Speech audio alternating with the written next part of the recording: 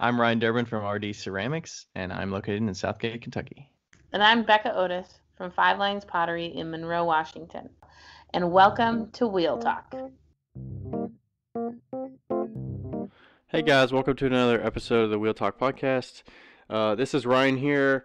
Becca is not going to be joining us for this one. I um, wanted to try this one solo since uh, she was able to do one of these solo in the past.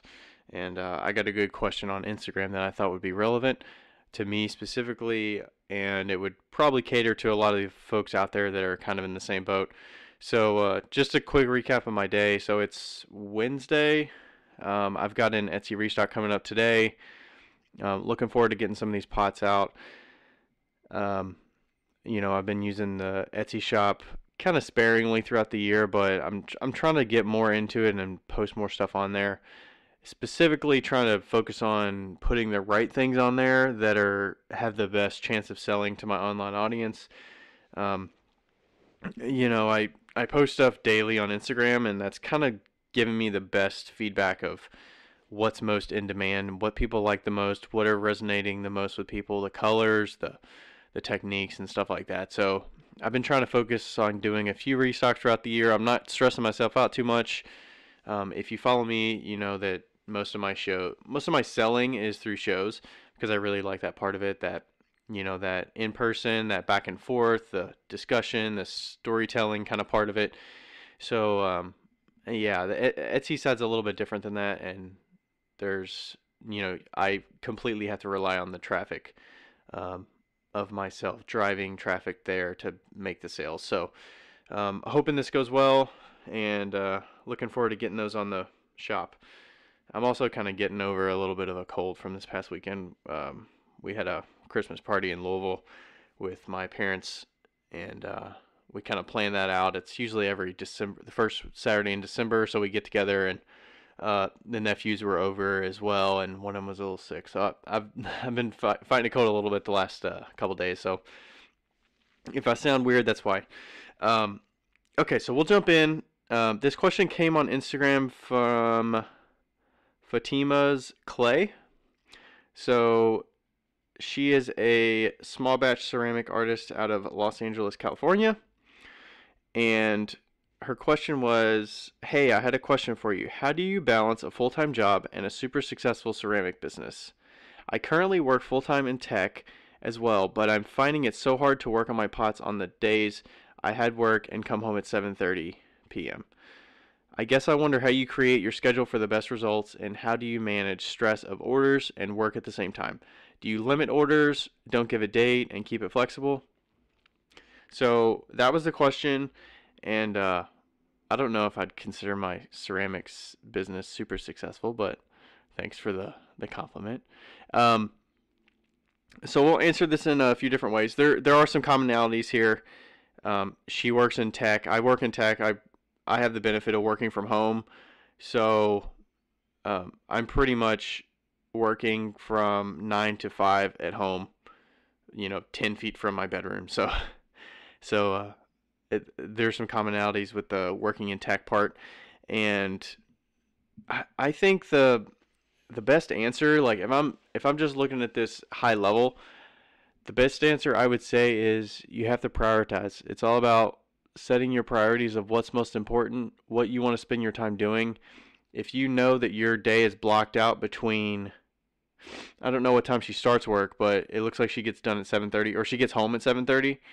Um, so let's just say she's working from 8 a.m. to 7:30 p.m.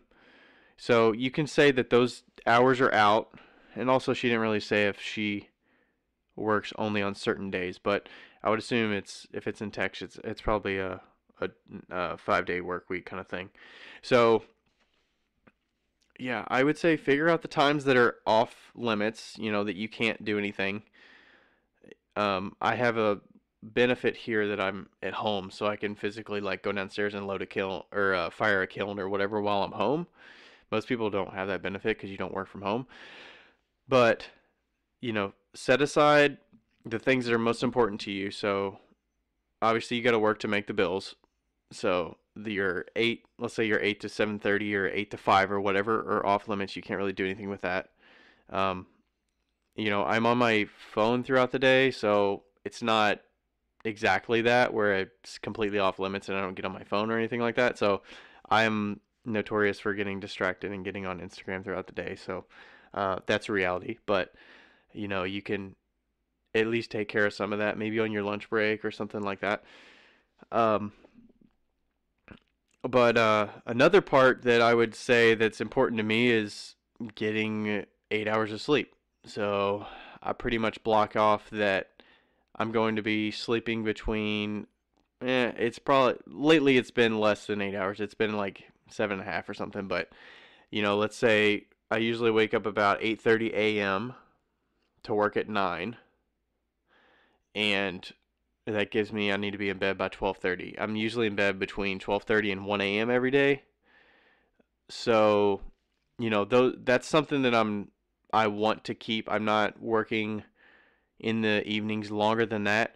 So let's see what times I have available throughout the week that don't fall in those hours. So my 9 a.m. to 5 p.m. are set, and my 12:30 p or a.m. to 8:30 a.m. are set. Those are off limit hours. So what can I be doing between 5 p.m. and 12:30 a.m. every day? So that's kind of what I have to work with. You know, that's a lot of time. That's what is that? 7 hours. So I mean, you could get a lot done in 7 hours. 7 hours for 5 days a week. You know, that that stuff adds up. So I'm trying to do quick math, but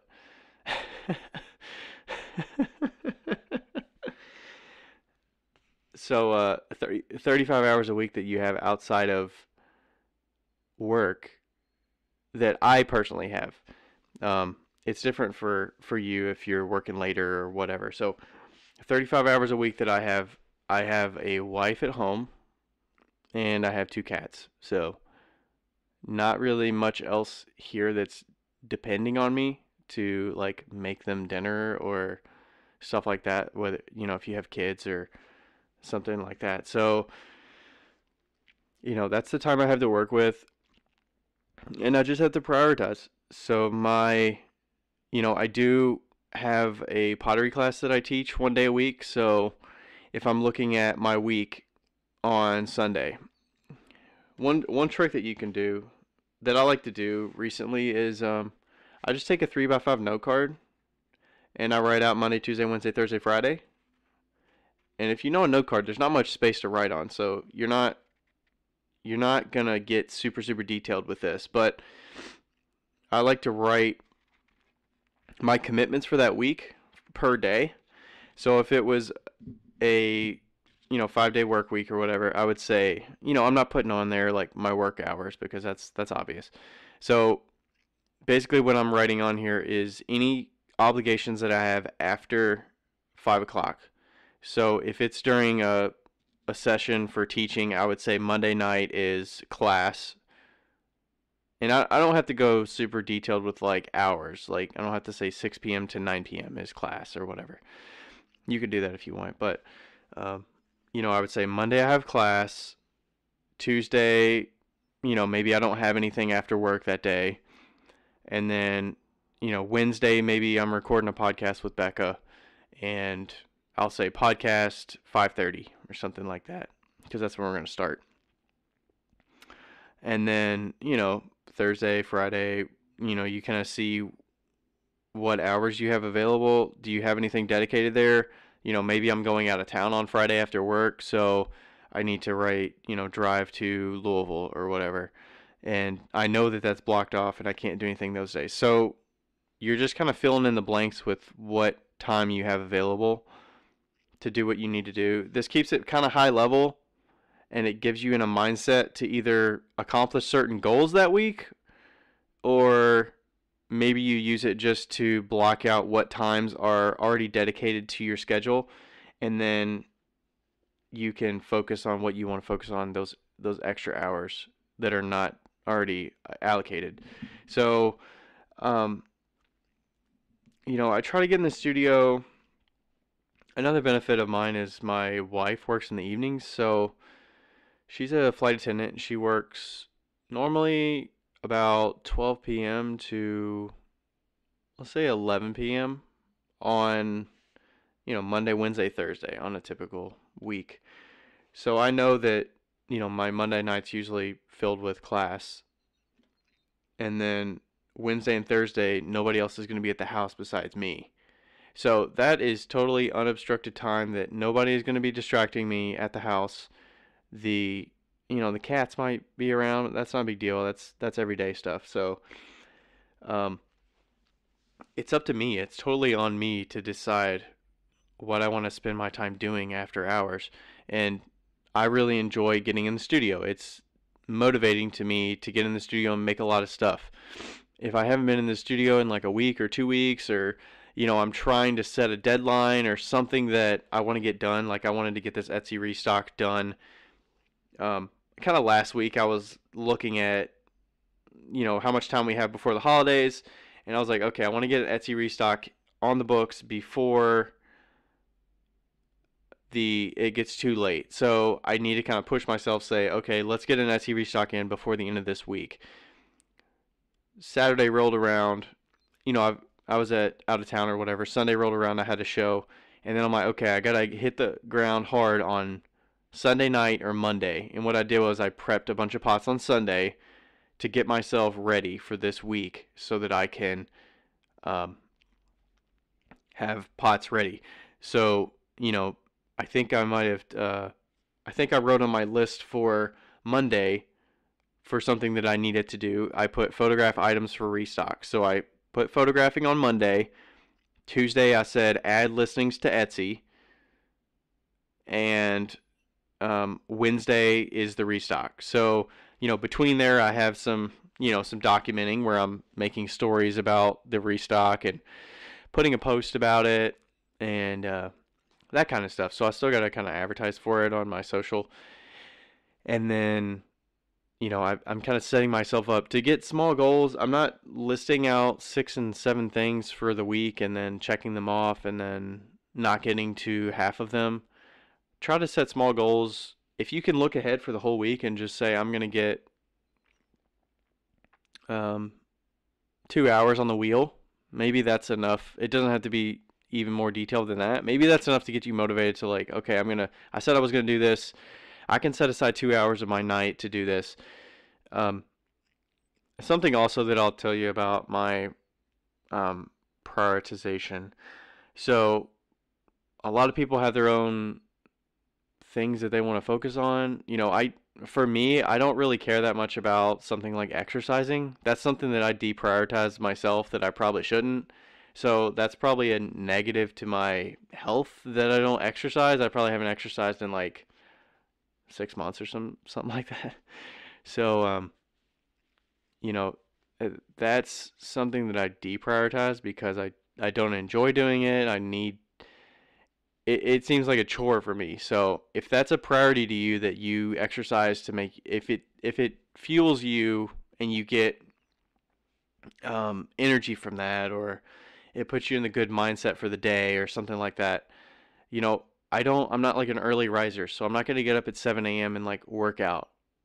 That's something that's I I know that I'm I'm not a morning person, so I'm not doing that kind of thing. And then I realized that if I prioritize pottery over exercise, then I'm not going to spend an hour after work at 5:30 to exercise because it's not really an hour. It's like an hour and a half, hour and 45 minutes if I realistically put in the the actual time it's going to take because you got the time to go to get dressed and uh, leave, go to the gym or wherever you're going. Let's say you're going to the gym. My gym's like five minutes away. Let's say I go five minutes to the gym, go exercise for an hour, come back. That takes another five minutes, so that's an hour and ten minutes. And then let's say I'm um, I got to shower because I feel gross. Like I'm not going to be working and doing other stuff or whatever. Um, you know, that's an extra 15 minutes or 20 minutes or whatever. And then I'm ready after, you know, an hour and a half. And then is my energy level to a point where I can work in the studio or am I really hungry after doing that? So, um, you know, that's just something about me that I don't prioritize as high as other people do. Um, I mean, could it benefit my studio practice and like make me better long term in the studio? Probably. Um, but is it something that I prioritize really highly on myself nowadays? I don't. It's kind of a I feel like it's either you prioritize like um I don't I don't know. I just I just can't make as much stuff as I want to make if I'm dedicating let's say two and a half hours of my night to exercising and preparing a dinner and stuff like that. So the other thing I would say is I don't like prepare a lot of dinners myself. When I'm at home, like I'm perfectly content with coming up from the studio at eleven o'clock, fixing a bowl of soup and eating soup and crackers for like fifteen minutes, and then like getting ready for bed or whatever. So that's those are a couple things that you probably don't see that are probably a negative in my um you know uh habits in daily life that you don't see. But that's kind of a reality of how I've prioritized my week. And you know I don't like to cook so I'm not going to spend time doing something I don't like to do. I'm going to take kind of the easy way to get something that gives me energy enough to fulfill my like hunger you know, maybe I'll snack after work for 30 minutes or something like that. And uh and get me to my next thing that I need to do. So if I need to be in the studio, I mean, it's got to hold me over through my 5 hours in the studio. And hold me over through uh until lunch the next day or something like that. So you know, th- those are kind of things that I've I guess sacrificed to uh be as productive as I am. I mean, it's probably to my detriment. I mean, I probably, you know, I can say I'm gonna uh, improve that next year or something, or you know, finding ways to go out and take walks or something like that might be a way that I can get some enjoyment out of getting exercise or eating better. You know, making preparing meals with my wife or something once or twice a week might be worth. Um, it might be worth making that more a, a priority when um, I'm in the house. You know, I'm in the I'm at my house every day for most days of the week, except for on weekends maybe. So, you know, I'm trying to optimize what I can do with the time I have. And that's kind of how I approach it. You know, all these minutes add up to um, the time that I can dedicate. And if you're also if you like working in a community studio, I mean, it takes time to go to and from that studio. It takes time to be in traffic. It takes time to like um I don't know, like every little thing adds up time. If you got to get bundled up to go out to look presentable to go to the studio or whatever or you know, all that time adds up. I I cut out a lot of that stuff because I'm all at home. I just got to walk down to the basement. So um I don't know. That's how I would say I balance it. I just have to set aside what is most important to me and what do I want to spend my time doing. And uh, you know, if you're if you're like, well, I need to watch Netflix or something to unwind a little bit or to chill out because I'm around people all the time or something like that. I'm around people all day and I just want to chill out. I don't want to feel like I'm doing work if I'm in the studio or something. I mean, maybe you can listen to a podcast and work in the studio or just give yourself an hour to work on something even if you don't you can't finish something in an hour maybe an hour is just enough to get you a little bit closer to finishing something and you know maybe maybe it's good maybe you need to start using some damp boxes in your studio so you can hold over the pots that you're working with you know, make a quick quick damp box or two. It'll take you uh, maybe 30 minutes of effort to, uh, not including the time you got to go get the materials. So let's say an hour of effort to get the materials, read the directions, and prepare um, plaster for a damp box or something like that. You know, it might be worth that hour of effort that you would have been spending in the studio. Maybe that pushes your your studio um, productivity that much more that you can um, produce more and your pieces.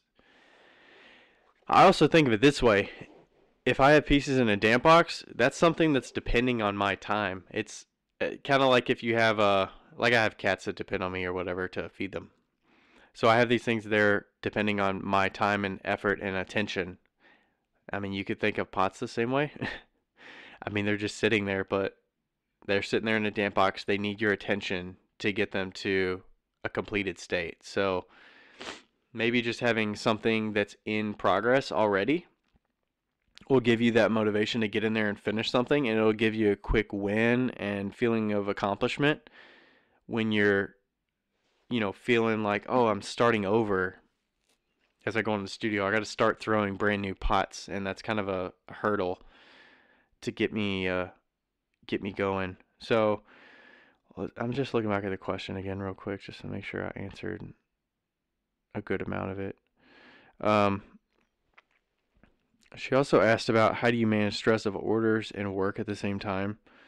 So most of my selling is on um, at in-person shows, so I don't really have a whole bunch of orders waiting for me, and I don't really accept custom orders. I have a couple here and there, but I try to give myself enough uh, lead time I mean, I'll, I'm realistic with people. If they're like asking for a custom order or whatever, and I'll be like, you know, I do this on the side. It's a, it's a passion, but it's a, it's a side business. I still work a nine to five, and I'll just give myself double the time that I think. So, you know, somebody wants something specific, I might, like, I had a a custom order that was asked of me back in uh, September, maybe September, uh, eh, probably October, and uh, they were asking for it. It was kind of a Halloween themed cauldron mug, and they wanted two of them. It was a form that I don't normally make.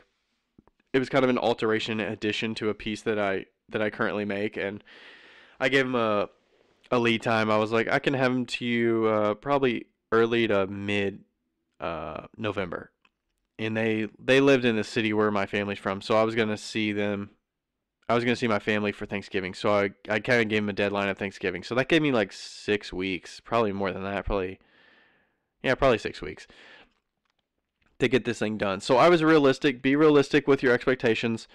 I think a customer is totally gonna understand if you give them a longer lead time and you deliver it on time versus giving them a shorter lead time and under under delivering because you push it back and say I can't make it, I'm late I would say always give yourself more time than you expect, just in case shit hits the fan or something happens. And also like make more pieces than you expect. Like he wanted two mugs and I made six. So keep that in mind too. Give yourself more lead time, especially if you're doing this on the side because other things can come up and, you know, losing an hour or two hours out of your studio. I mean, that could be a big chunk of the time that you require you know, if you're only getting like five hours in the studio every week, if you chop out half of that, then you're losing a lot of productivity. So, um, give yourself enough time. I think it makes a happy customer if you can deliver something on time when you promise it versus seeming like you can't keep up to what you've promised. Um, let's see. Do you limit orders or don't give a date? Yeah, I would. I would say totally give them enough time. And then the other thing that I I might get is uh I might get requests through Instagram. Like somebody might reach out to me and say, "Hey, is that available or is is this possible or uh, how much is this?" So this might be the salesperson in me, but when you're brought with a opportunity to sell something, you need to like act fast in the moment. If you put it off and say, "I'm going to upload stuff to the Etsy shop in 2 weeks," and you reply with that, I'll upload something, you're probably not going to get that sale because they're kind of getting that itch and they really want it now. So if you can sell something now that you have available, then I would totally follow up and say, "Yes, I will send you photos of this piece or whatever and give you pricing. It's this price. I can accept check or I can accept payment through PayPal or Venmo at these two addresses. Um, you know, please send me your shipping address and I can give you a total with shipping. And then it's on you once they once they reply with their shipping. I mean, you should go right into you know, United States Postal Service website, click and ship. You can type in their name, their address, the package weight and size, you know, you got to prepare that package really quickly. If you do it enough and you know it's a mug, you pretty much tell that, okay, it's this mug. I know I'm going to ship it in this box and it's going to weigh about this much because I, I've done it before and I know it weighs about a pound and six ounces or whatever. And you give them that total and say, okay, your total is 4250 with shipping. You can pay me at this address or this address on uh, these platforms and then all you got to do is wait for them. Well, one th- also thing that you could do is um, tell them if I I can get this out in the morning, and it will be to your doorstep in two days. And that also gives them urgency that th- they're kind of getting immediate satisfaction that once they buy it, they know that it's going to be there in two days. I think that's also a it might be a way to get that sale. So um, that's something that I try, I try to follow up on every one of those requests, whether it's saying no and denying their request or it's saying yes, I have this available, and you show them pictures and you give the, you put effort into meeting them where they where they want to see you know what you have available and stuff like that. So if you can do that, then you're probably going to get close to getting that sale. You know whether you and that also depends on like, do you have the time and are you replying in ample time? Um, I kind of have that benefit because I work from home. I have my phone right there, so I can answer those kind of inquiries. But um, yeah, maybe setting aside some time for you to pick up your phone at certain times of the day that you can um, get to those requests. And you know, the closer you are to answering those in the time of when they're asked, the closer you are to getting that sale. And then, you know, that's just another order that goes out the door. And I really like the packing and shipping part. So so uh, preparing those packages and like getting them shipped out is really like fun for me. So I don't really have stress of getting orders filled. I sometimes have stress of getting um, consignment orders filled and stuff like that because there's a, you know, there's checks that'll come and then they'll have a note with them that says I'd like to get this uh, I'd like to get some more of these style pieces or whatever and then you kind of put it on the on the list to get done and uh, it kind of builds up and hopefully you can deliver it in time but yeah that's kind of I guess that's how I would answer that. Uh, this was a little more free form hopefully you enjoyed it and uh, yeah thanks so much for listening and we'll catch you on the next episode. I would love to get more questions like this. If y'all have anything, I mean, questions are always good because Becca and I can both give our perspective on it. If it's something specific like this and it's, you know, something I can provide as a, you know, folks out there with a full-time job and a side hustle, then uh, that's also great too. I'd love to answer any of that. You can uh, contact either one of us. If you want, you could write us on Instagram at Wheel Talk Podcast and we can check those DMs. Or you can reach out to myself at RD Ceramics or Becca at Five Lines Pottery Studio. That's the number five. All right, thanks so much for listening, and we'll catch you next time. See you guys.